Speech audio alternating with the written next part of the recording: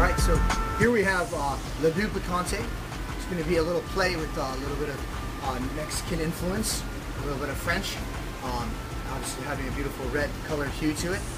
Um, what I did was I wood grilled the peaches and pomegranate, and then I smoked serrano peppers.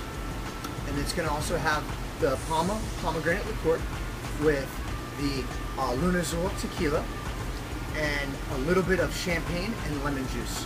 Um, and it's to have a nice orchid right on top. That's where to get your color and your beautiful, so it's like sweet and spicy. And that's kind of the whole idea that I was going for. There you are.